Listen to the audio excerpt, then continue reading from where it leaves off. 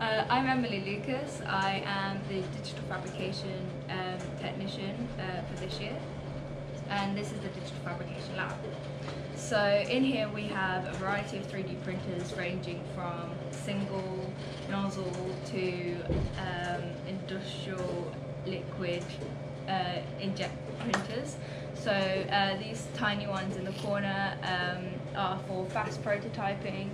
Uh, they are really useful for when like people just want to make sure that their like their objects are going to be the right size or fit together nicely.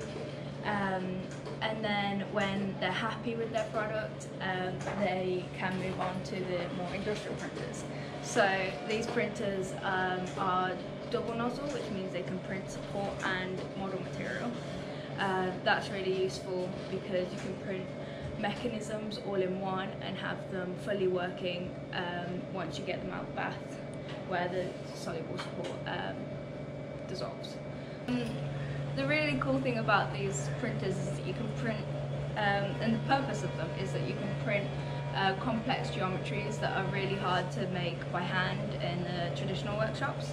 So um, if you need like a really specific mechanical parts that need to be accurate in the way they assemble or uh, the way they go into your product, then that's really good. Um, we also have um, the object printer, which prints liquid plastic through um, 190 nozzles per head, and we've got two heads. So it comes out with some smooth, accurate finishes that can be ready to spray paint from the machine. That's really useful for like printing aesthetic parts of your um, your products, so like logos or meshes. Um, again, things that if you were to sand down would lose their shape or uh, the look of them. So that's why a lot of uh, the students choose to print maybe their contextual parts of their contextual models, um, which is a model um, a module in final year, um, just to get those accurate parts. Um, yeah. so uh, we also have vinyl cutters. Um, again, these are just all extra uh, bits of uh, machinery that are just available to the students. Um, this is a student um, run facility and all the materials in here and in all of the workshops are free of charge for design students which is awesome because you're not um, you're not restricted in price wise on what you want to make. Um, we also have 3D scanners um, which are really cool for um, again scanning but um, the the product design um, engineering students have a module that is literally just 3D scanning and modelling from that, um, which is really nice. Again, it's something that's accessible to all So, um, I'll just show you to the um, the wood uh, workshop. So this learning So this is uh, the wood workshop. This is where you'd work with not only wood but a lot of other model materials. We have the traditional uh, machines from the workshop, so uh, lathes to turn, uh, uh, bandsaws. We have more modern machinery like CNC, the CNC machine over there. Um, so the great thing about these workshops is that they're run by experienced technicians who um, will help you with anything you need, especially if you are probably not confident on a certain machine or you want to make sure that you get the exact angle of something, which is much harder than you think. Um, the technicians here will only support you and will either teach you how to do it so you can do it yourself or uh, will help you do it if it's a really tedious job. Um, which is the great thing about the, this university is that they do let you get hands-on. Um, you're not just uh, restricted by their time as well. Um, so you can, like after the first year workshops, you can just come in um, and get get along with whatever you're doing. Um. Uh,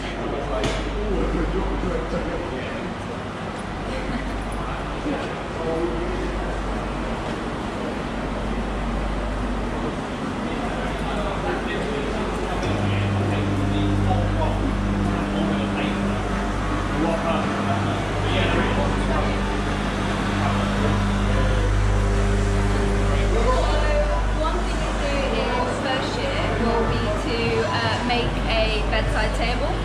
Um, this just gets you used to using all of the machines in the workshops. Uh, they give you standard parts and the aim of the workshop session is to um, make all your parts, uh, assemble them in a standardized way using jigs.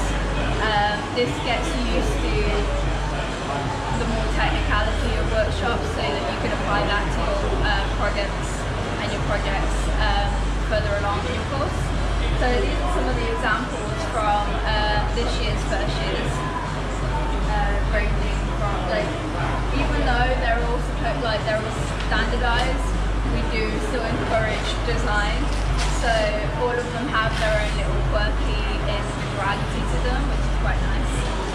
Um, yeah.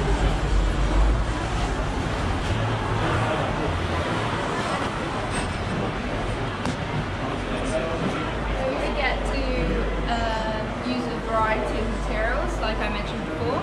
Uh, one of the ones we commonly use is um, a particle board called uh, and we'll, we'll see more of it um, in the next workshop. But we also work with a variety of other model materials and woods that you can order from um, the middle stores here, and you can get um, get it cut for you size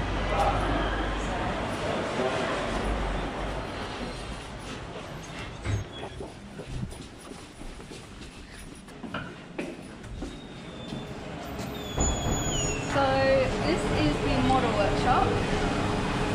Again, quite busy because you know the deadline is very soon. Um, so the workshops are open 9 to 5 Monday to Friday. Um, in that spi- space of time, you can come in when you, like, if you want to, and work on your uh, projects, or even your own thing. Um, so in here we have the polyurethane uh, particle board. I hope I got that right. Um, which is we call it Ureol. Um, this model material you can sand, shape, and um, finish to look like anything you see on these boards. So all of these boards have been made in these work. Uh, the products on these boards have been made in the workshop. So here is like more of the finishing um, workshop. We have a spray painting booth uh, in the corner. We have more CNC machines. Uh, we have this um, vacuum casting machine which simulates uh, injection molding. So basically you can make a mold like this from a part that you've CNC'd or 3D printed um, and then uh, pour in some liquid through there and create some really cool plastic parts. Um, depending on what you want, depends on the properties it has as well. So that's just an e- extra machine we have. Um, and we have the same type of machines from the wood workshop. So yeah.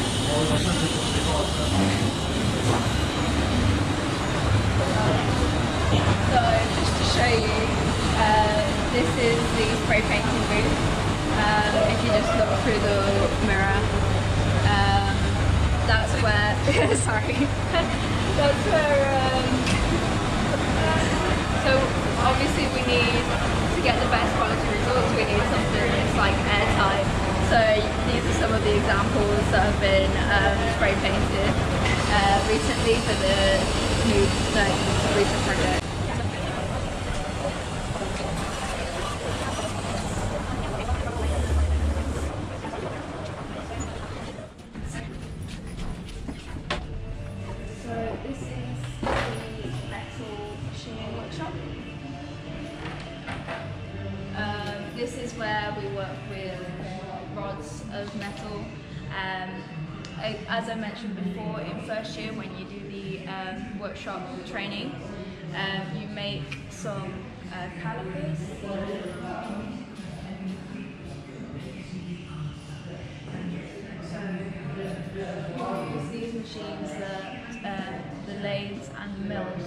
To create a um, accurate uh.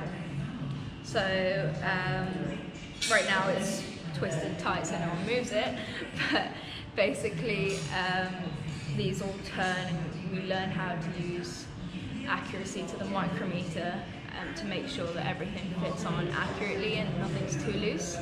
Um, obviously safety is paramount as well.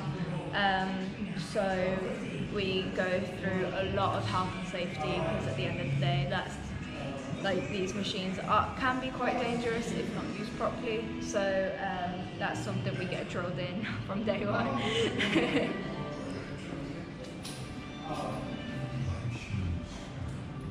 we have um, from the traditional, we have also modern um, machinery such as these CNC machines as well um, that are special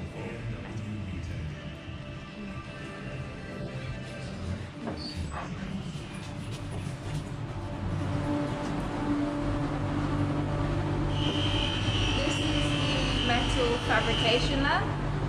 Um, so this lab is done is similar to the other one but works with sheet metal. So um, we have uh, cutters, um, we have machines to bend the metal, uh, presses, uh, we have hammers to do it more organically depending on what you want to achieve. Um, and we, have, we even have a plasma cutter over there that uh, is, cuts um, your like sheet metal to the things you require, like a laser cutter, but um, more powerful. So um, this workshop is really useful for uh, when you need to make metal parts into your product. So if you've got like breakers or a certain metal part that maybe you don't want to spray paint metal, you can actually make it in, this, in the material. Um, something that the first years do to learn how to use this workshop again is um,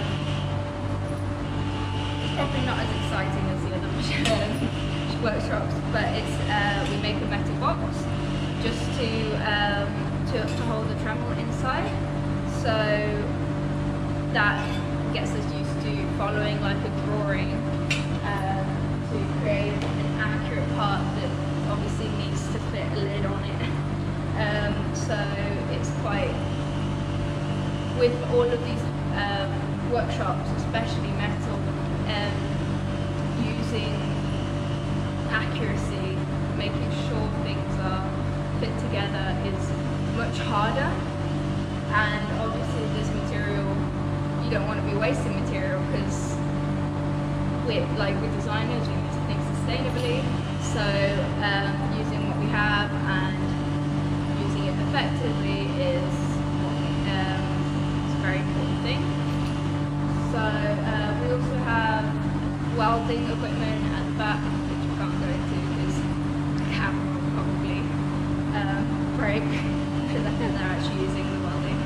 Um, so, but yeah, again, just another we can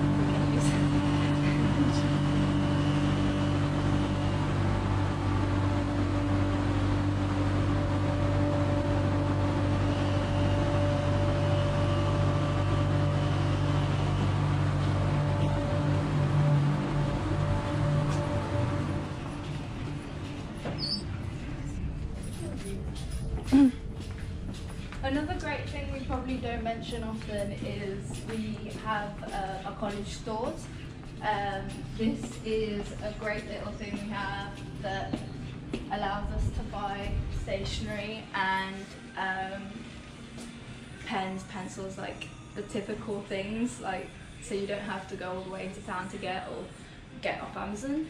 the university would buy these um, objects, uh, these products, so um, we would usually get them cheaper here than anywhere else as well and because they sell at a non-profit basis so basically what they spend is how much they charge you um, we do get them a lot cheaper. Um, in the start of first year as well we get a starter pack which includes things like um, initial markers uh, crayons uh, pens uh, sketch pads and we get a lab coat of course for workshops. So that's just an extra thing um, just to welcome us into the uni. So you definitely get your money's worth with this course.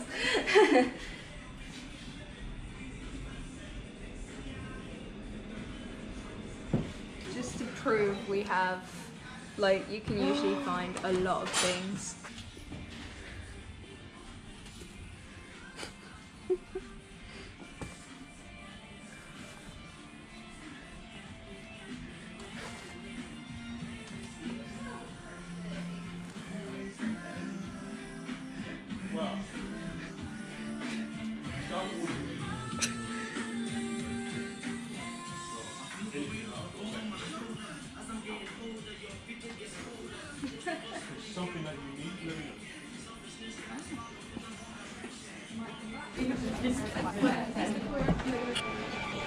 is the plastics workshop, the one material we haven't covered. um, so in here we have laser cutters, so if you wanted to look at that, that's the kind of things that we work.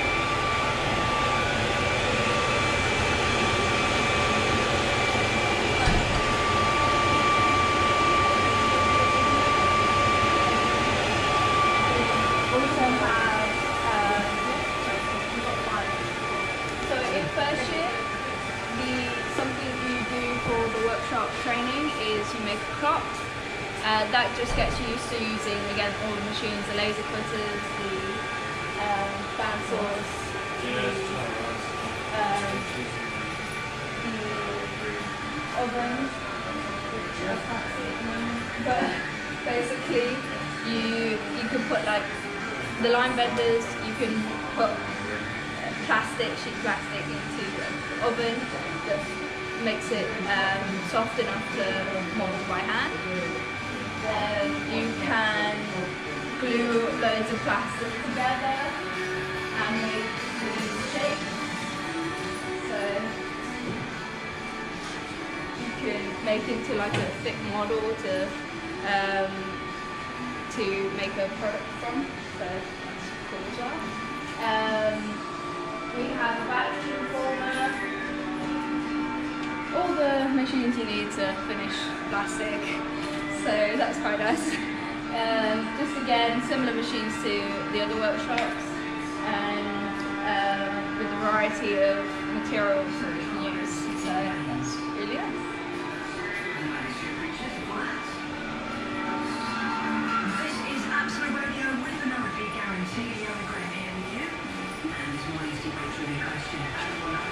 You. We also have a variety of CNCs, so we've got like three of these machines in here um, that again are for using the same material that I mentioned earlier to create molds or um, parts that you can then cut off and um, sand and get to look like plastic. Oh yeah.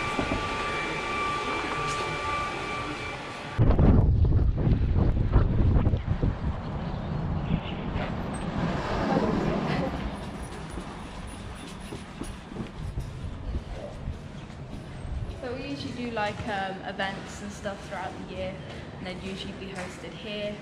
When it's not used for events, then it's just open space for people to work in or have lunch in, I guess.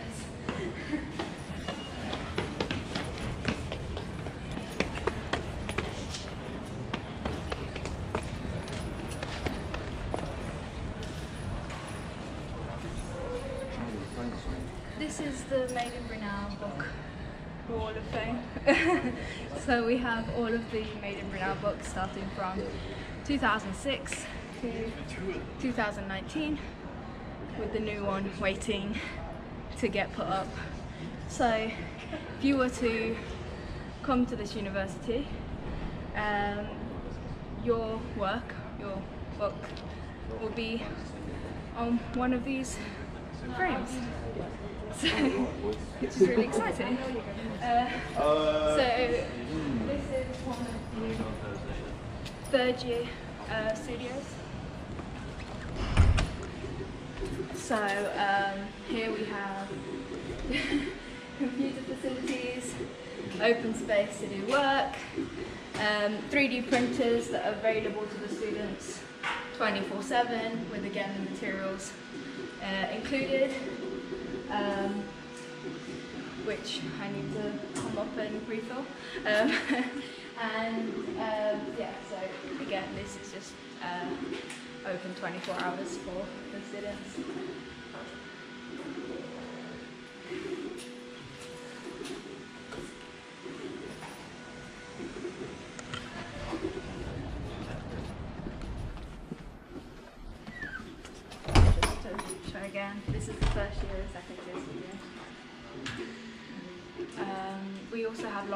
For when students need to bring in their work and put some put them somewhere. So, um, yeah. oh, we also have Wacoms in there, which are computers especially for digital sketching. Um, again, these are just facilities that are open. You can use them as little or as much as you want. When you are applying to the universities uh, for design, um, look at how much they care about it. One of the reasons why I chose Brunel is because they don't just have the course, they have Made in Brunel, which is um, a brand created by final years that are replaced every year with a new brand um, with new values and to showcase their work into industry. They have the Design Society, which is a more sociable uh, group of students, usually run by second years, that um, help you with skills that you may be lacking in, so sketching or CAD. Um, they do more social events as well to really connect you with um, everyone else in the course. They um, plan events throughout the year, um, Made in Brunel and Design Society, like 24 hour challenges, which get briefs from um, other companies, and you have 24 hours to complete a challenge and present it. So they are very much design central here, and that's why I came to Brunel. Um, we they also have like staff um, such as the Co-Innovate and um, Design Plus that literally their jobs are to connect with companies and um, make that connection between companies and um, students so they can work together in their um, final year projects and other projects um, from that. So they this university is like very much connected to industry and uh, for where, wherever you apply make sure that your university is well known in industry because at the end of the day that's your aim goal Yeah. so yeah that would be my advice yeah um, i hope you've enjoyed the um, virtual tour and here are some of the mid teams Hiya. Um, so my name's Amber. I'm director of Made in Brunel this year, and this is Charlotte. Yeah, I'm the communications manager, so I'm actually on my placement year working for me. So the team there's about 20 of us, mixing from um, undergrad to got some masters, um, kind of liaisons as well to kind of keep everything together. And we're kind of in charge of running design events. Kind of our real goal is to kind of create and build a relationship between us as design students at Brunel and kind of industry professionals. Um, keep up that link um, with the aim of you know getting people good jobs when they graduate. So we run um, events such as uh, pop-up where we try and show like a work in progress of what all our, our final years are working on. We did a like brand launch event and it's kind of all working towards the graduate showcase um, at the end of the year really. Yeah, and then we have some like internal events as well, which we run, which is a great thing to link all of the year groups together. So we actually have things like we have a 24-hour design challenge where we work on industry briefs, where you've got teams of students who include like two final years, two second years, and two first years. So you're all working together, uh, which just links all the year groups together as well, which is really nice. So my advice to prospective design students would be to get as involved as you can. Like the more you put in, the more you'll get out. Um, I think being part of Made in Brunel is such a great opportunity. You get to kind of network with um, so many more so many more people than you would think you could. Kind of at all the events that we run, and yeah, it's just a great it's a great way of being able to get some advice on your work, getting to know more people, um, just trying to do as much as you can because at the end of the day, trying to get a good portfolio and um, grab a job that you kind of really enjoy is kind of the ultimate goal really. So yeah, just try and do all of all of the things that um, we try and run throughout the year and yeah, just have fun as well. I guess. Yeah. Design Society is like a group of designers, mainly first and second year, and it's run by a group of second years which are elected by their peers.